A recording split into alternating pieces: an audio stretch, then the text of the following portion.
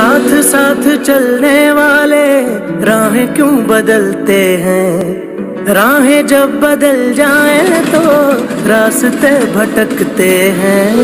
दूर हो नज़र से चाहे दिल के पास होता है, चाहे दो जहाँ भी पालो वो ही खास होता है।